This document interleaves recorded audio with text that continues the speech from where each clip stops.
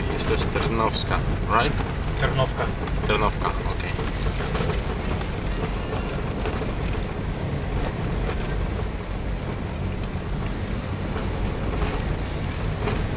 It's hotel and museum